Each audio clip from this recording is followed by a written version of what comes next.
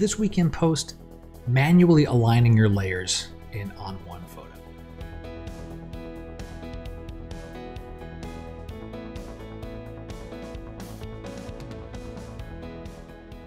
Hi everyone, I'm Scott Davenport and welcome to In Post.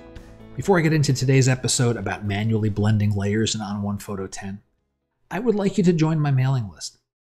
What do you get if you do that? Well, first and foremost, you get some free stuff. Got some free ON1 presets, some textures, a bunch of exclusive videos. That's just for people that subscribe to the mailing list. And then throughout the year, I usually throw out a few discounts from my store and so forth. You'll also be the first to hear about any workshops or other special offerings I might be doing. Light email traffic. I don't spam people. I don't share the email list to sell them to anyone. It's really just between you and me. It's a way for you to keep up with what I've been doing, as well as to you know get some perks and benefits for you know following along with me because I really appreciate you joining me week after week. So if you haven't checked it out, go over my website. You can subscribe right from the main page there and uh, get in on some of the uh, the freebie action there.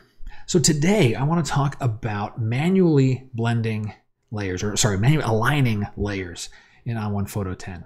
Um, I've been asking ON1 for auto layer alignment for years. It's not there yet, but there is a trick that we can use with one of the blending modes to help us do that. It's something I've been doing for a couple of years. When the alignment is, you know, you're, you're close, but you just need a little bit of a nudge, saves me a trip into Photoshop and going through um, what is usually a little bit of a lengthier process. So let's take a look at what we got here. I've got these two photos I took at the shark fin, which if you saw in the field earlier this week, it will look familiar. I've got this one photo where I like that I have this person standing on the rock, and then I have another photo where the waves are really awesome. Now, as I turn off and on that layer, you can see those little bits of shifts in where the rocks are. I'm going to zoom in right up here to the tip of the fin. And as I shift it off and on, you're going to see that rock is moving around a little bit. It was very windy up on the tops of the bluffs there, and that probably explains a fair amount of why my tripod moved a little bit.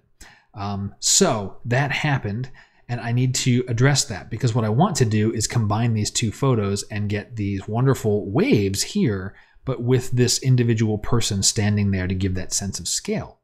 So what I can do is change the blending mode to difference way down here at the bottom. So here's difference. And this is showing me what is different between the top layer and the bottom layer. I want to show you a, another way of looking at this because it'll really drill it home. If I duplicate this top layer, so now what I have here, these two layers are exactly the same. If I set difference, I get a complete and total black screen. There is nothing different between this layer and this layer. So when I set difference on my top layer and I have a little bit of a shift in my tripod, I'm going to see deltas. So I'm going to zoom in at 100% and find my person on the rock here. So here's my person. Now the person's moving around. If I turn off, see the person's gone. Turn on the layer, I got my difference going on. But what I can see is at the edge of these rocks, this weird like looking, um, I don't even know what to call it it almost looks really horrible chromatic aberration. That I can use to help manually line things up. If I can get this line pretty crisp, that's going to mean I'm going to get this person standing on that same rock pretty well. So with the transform tool, I'm just going to use my arrow keys and start nudging things around. So I'm moving to the right and you can see I'm closing the gap right here on this difference. I don't expect to get a perfect alignment but I'm going to be able to get pretty darn close. Now, as the more and more black things get, the better it is. Now, there's surf and there's birds and there's people moving around, people leaving footprints. So when I look at the photo as a whole, there's still going to be differences. And even above the ridge line here, there's going to be differences. I only care about getting the differences minimized in the area that I'm going to do masking. And that's right in this spot here. I even see differences just based on the sun's reflection hitting what was wet rock versus dry rock and so forth. So as I nudge this around, I'm just looking to get as much black area around this person as I can. And that is looking pretty good. So I'm going to say that's great. I'm going to apply it. move back to my fit view, and now I'm going to turn my blending mode back to normal. From here, I can do my masking and it's going to be a lot simpler to do. So let's go ahead and do that. I'm going to actually bring my surf layer up top because uh, this is of most interest to me. And zooming back in, somewhere around here is my person. Let's quickly lower my opacity. Okay, my person is right about here. B for the brush tool, shrink it down, and let's start to reveal that person there. Okay, now I'll have to do a little bit of back and forth because I'm working with a, uh, you know an imprecise shape here and start to smooth that out kind of working around that person to bring the surf back in because on I want that surf to be in the background there.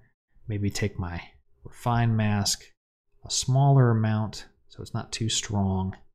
Just kind of click on that to smooth it around. Let's change the mode to in to bring that back in on the person. It's okay if the person's a little bit softer because this is a for sense of scale. Great. That's looking pretty cool. Brush tool, we can also now start to get rid of these other people here. I don't need this person there like that. Same thing with this person here. Because I did that alignment, that's looking pretty good. And then I don't know what I had in terms of sand here. Let's give this a try. Okay, I've got a different color gradation going on there, so I think I'll take care of this person using you know the perfect brush, something like that. See if that if I get lucky with it. Oh, that's beautiful, great, something like that. And then I can take care of the footprints, onesie twosies with the perfect brush, just to smooth things out and give the illusion that this person's standing solo on this rock all by themselves. I can click all the way through here. You get the idea going through this one by one to smooth all of that out. But very quickly, with that simple alignment, and since I'm only using like this area of the photo for that alignment, the rest of it is, is okay. I don't have to have a perfect alignment. And even the little nudge on the tripod when I was in the field didn't matter too much.